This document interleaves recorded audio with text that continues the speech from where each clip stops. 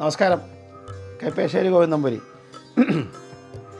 ഈ കഴിഞ്ഞ കുറേ ദിവസങ്ങളായിട്ട് നിരവധി ആൾക്കാർ നമ്മുടെ ആൾക്കാരെ അറിയാമല്ലോ അവർക്ക് നമ്മൾ പറഞ്ഞ പല കാര്യങ്ങളും നമ്മൾ പറഞ്ഞിരിക്കണ പല നാമജപാദികളും അത് ഇപ്പോൾ ദുർഗയുടെ ആയാലും ശിവന്റെ ആയാലും ഭദ്രകാളിയുടെ ആയാലും നാമങ്ങളും ദ്വാദശാക്ഷരി പോലത്തെ നാമജപങ്ങൾ എത്ര പേർക്ക് ലോട്ടറി അടിച്ചു എന്നെ വിളിച്ചു പറഞ്ഞത്? അത് ഞാൻ വീഡിയോയിൽ പറഞ്ഞാൽ പിന്നെ ലോട്ടറി പ്രൊമോഷൻ ചെയ്യാനുള്ളൊരു മാർഗമാവുന്നുണ്ട് അത് പറയാത്തത് അങ്ങനെ ഒത്തിരി ഒത്തിരി ഒരുപാട് ഗുണങ്ങൾ കിട്ടിയ ഒരുപാട് ആൾക്കാരുണ്ട്. അപ്പോൾ അവരെല്ലാം നിരവധി കഴിഞ്ഞ തവണ കഴിഞ്ഞ തവണങ്ങളെ ദിവസങ്ങളെ വിളിക്കുകയാണ്. തിരുമനസ വരാഹിയെക്കുറിച്ച് ഇങ്ങനെ കുറേ വീഡിയോസ് വരുന്നു. അതിന്റെ ലിങ്കൊക്കെ എനിക്ക് ഇട്ടു തരുന്നു. എന്താ അങ്ങയുടെ അഭിപ്രായം എന്ന് ചോദിച്ചു. അപ്പോൾ രസം എന്താണെന്ന് വെച്ച് കഴിഞ്ഞാൽ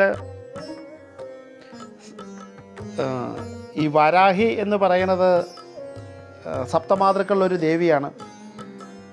പക്ഷേ ഞാനൊരു ഇതായിട്ട് പറയണതല്ല. നമ്മൾ ഈ എന്താ പറയണേ?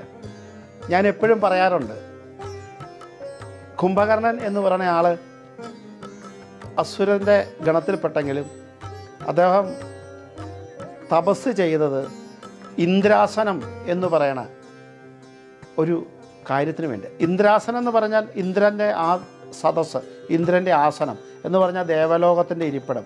അതിനെയാണ്. ദേവന്മാരെ എല്ലാം ഇല്ലാണ്ടാക്കി ദേവലോകം മുഴുവൻ കീഴ്പ്പെടുത്തുക എന്നൊരു ഉദ്ദേശത്തോടു കൂടിയാണ് കുംഭകർണന്റെ തപസ്. അപ്പോൾ അങ്ങനെ വർഷങ്ങൾ ആയിരം വർഷമൊക്കെ തപസ് ചെയ്തു. മഹാ മഹാദേവന് പ്രത്യക്ഷപ്പെടാതിരിക്കാൻ പറ്റില്ല. എന്താ ചെയ്യണേ? ചോദിക്കാൻ പോണത് ഇന്നതെന്നറിയാം ചോദിച്ചാൽ നമ്മുടെ തന്നെ സ്ഥാനങ്ങൾ നഷ്ടപ്പെടാൻ പോകുന്നതാണ്. അപ്പം അങ്ങനെയൊക്കെ ആലോചിച്ച അവസാനം അദ്ദേഹം ചോദിച്ചു വന്നപ്പോൾ സരസ്വതി ദേവിയുടെ കടാക്ഷം കൊണ്ട് നിദ്രാസനായിപ്പോയി ഉറക്കായിപ്പോയി. അല്ലേ?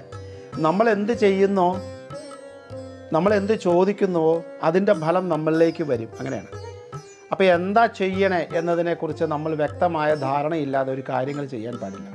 ഇപ്പോൾ രണ്ട് മൂന്ന് ലിങ്ക് അയച്ചു തന്നതിനകത്ത് സപ്തമാതൃക്കൾ എന്ന് പറയുന്ന ഏഴ് ഈ ദേവിമാരെ കുറിച്ചാണ്. ആ സപ്തമാതൃക്കൾ എന്ന് പോലും ആണെന്നറിയില്ലാതെയാണ് പറയുന്നത്. സപ്തമാതൃക്കൾ എന്ന് മറ്റെന്തോ ഭാഷ ഉപയോഗിച്ചാണ്. ഞാൻ ജസ്റ്റ് ഒന്ന് കേട്ടേ ഉള്ളൂ.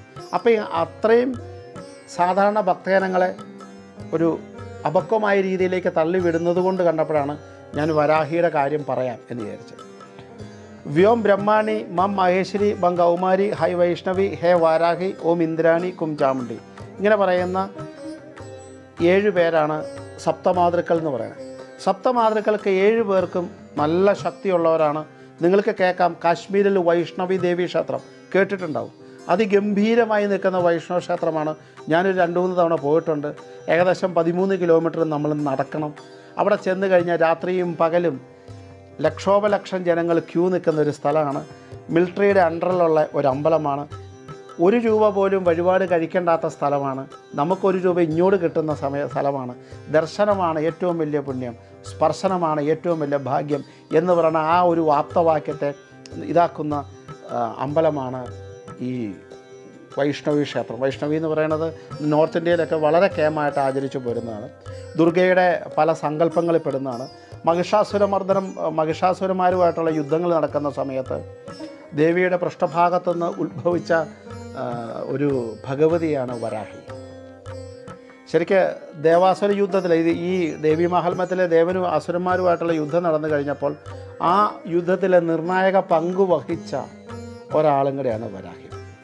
ഈ വരാഹി ഭഗവതിയുടെ പ്രത്യേകതയെക്കുറിച്ച് പറഞ്ഞാൽ ശരിക്ക് എല്ലാ ലക്ഷ്മി സാന്നിധ്യങ്ങളും ഉൾപ്പെടുന്ന അഷ്ടലക്ഷ്മിയുടെ എല്ലാ അനുഗ്രഹങ്ങളും കൊള്ളുന്ന എല്ലാ ഐശ്വര്യത്തെ പ്രദാനം ചെയ്യുന്ന എല്ലാ നന്മയെ പ്രദാനം ചെയ്യുന്ന എല്ലാ സ്ത്രീത്വത്തെ പ്രദാനം ചെയ്യുന്ന ഒരു ഭഗവതിയാണ് വരാഹി. എല്ലാ ആ സപ്തമാതൃക്കൾ എല്ലാവർക്കും വളരെ ശക്തിയുണ്ട്. അതിൽ വരാഹി ദേവിയുടെ കാര്യം പറയുന്നതുകൊണ്ട് അത് എടുത്തു പറയുന്നു എന്ന് മാത്രമേ ശരിക്ക് വേറെ ഒന്നും അതിൽ നമ്മളിപ്പോൾ എന്താ ചെയ്യണേ? കേ ഏറ്റവും നമുക്ക് സിമ്പിളായതും പെട്ടെന്ന് അനുഗ്രഹം കിട്ടുന്നതുമായി നിൽക്കുന്ന ഭഗ പ്രാർത്ഥനയ്ക്കാണ് ഏറ്റവും ശക്തി കൂടുതൽ. നമുക്ക് ഒരിക്കലും തെറ്റു വരാത്ത നമ്മളിപ്പോൾ വലിയ മന്ത്രങ്ങൾ ജപിച്ചു വലിയ നാമങ്ങൾ ജപിച്ചതിന് ശേഷം അത് തെറ്റിപ്പോയിട്ട് തെറ്റായ ഫലം നമുക്ക് ലഭിക്കുന്നതാണോ?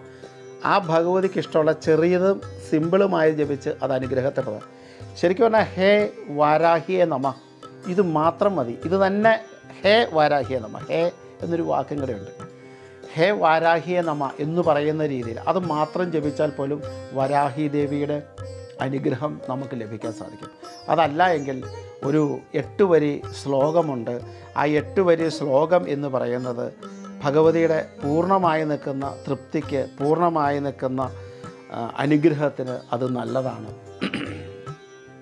അതൊരു നമ്മൾ സാധാരണ സർവമംഗളമംഗല്യേ ശിവേ സർവാർത്ഥ സാധികെ ശരണ്യ ത്രയംബകേ ഗൗരി നാരായണി നമസ്തുതയെ നമ്മൾ ജപിക്കാറുണ്ട്. അതുപോലെ തന്നെ ജപിക്കാൻ പറ്റുന്നതാണ് വരാഹിദേവിയെ വരാഹി ദേവിയെ ഓർത്തുകൊണ്ട് വളരെ നന്നായി ജപിക്കാൻ പറ്റുന്നതാണ്. കുണ്ടലിനി പുരവാസിനി കുണ്ടലിനി പുരവാസിനി ചണ്ടമുണ്ട വിനാശിനി ചണ്ടമുണ്ട വിനാശിനി പണ്ഡിതസ്യ മനോന്മണി പണ്ഡിതസ മനോന്മണി വരാഹി നമസ്തുതി വരാഹി നിന്നെ നമസ്കരിക്കുന്നു.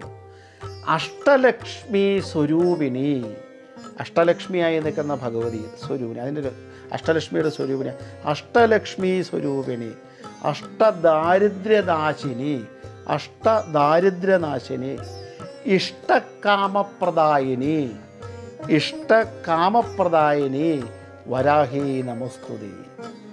ഈ എട്ട് വരി എഴുതി കാണിക്കാം. ഈ എട്ട് വരി നാമം. അതിനകത്ത് അഷ്ടലക്ഷ്മിയുടെ അനുഗ്രഹം തന്നെ ഭഗവതി എന്ന് പറയാറുണ്ട്. അഷ്ട രീതിയിലുള്ള എട്ട് രീതിയിലുള്ള ദാരിദ്ര്യങ്ങളെ ഇല്ലാണ്ടാക്കണം. അതുപോലെ തന്നെ നല്ല കാമപ്രദായനി. എന്ന് പറയുന്നത് വെച്ച് കഴിഞ്ഞാൽ വേറെ അർത്ഥമല്ല. സ്നേഹബന്ധങ്ങൾ ഊഷ്മളമാക്കുക സൗഹൃദങ്ങൾ ഊഷ്മളമാക്കുക നല്ല ബന്ധങ്ങളെ ഉണ്ടാക്കിയെടുക്കുക നല്ല ബന്ധുജന സംസർഗം ഉണ്ടാവുക അങ്ങനെയൊക്കെ. ദുരിതത്തിന്റെയും ദുഃഖത്തിന്റെയും മോചനത്തിനും വേണ്ടി എല്ലാവിധ അനുഗ്രഹകലയും ഉണ്ടാവാനായിട്ട് അല്ലെങ്കിൽ എല്ലാ നന്മയും ശ്രേഷ്ഠത ലഭിക്കാനായിട്ട് വരാഹി ദേവിയുടെ ഭജനം നല്ലതാണ്. വരാഹി ദേവിയുടെ പോലെ തന്നെയുള്ളതാണ് ഏഴ് സപ്തമാതൃക്കളും എല്ലാവരും ഉള്ളതാണ്. അതിനകത്ത് ഏഴ് പേർക്കും പ്രാധാന്യമുണ്ട്.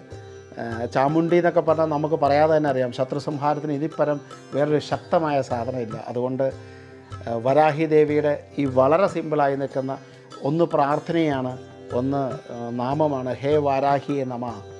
ആ നാമം ജപിച്ചാൽ ഇതിന്റെ എല്ലാം കാരകത്വം അതിനകത്ത് വന്നു കഴിഞ്ഞു. അതുപോലെ തന്നെ ഞാൻ ഇപ്പം ജപിച്ചത്. ഈ രണ്ടും എഴുതി കാണിക്കാം. അത് അതിന്റെ വേണ്ട രീതിയിൽ ചെയ്യുക. ഭഗവതിയുടെ അനുഗ്രഹം നിങ്ങൾക്ക് വരട്ടെ. സന്തതി പരമ്പരക്ക് വരട്ടെ.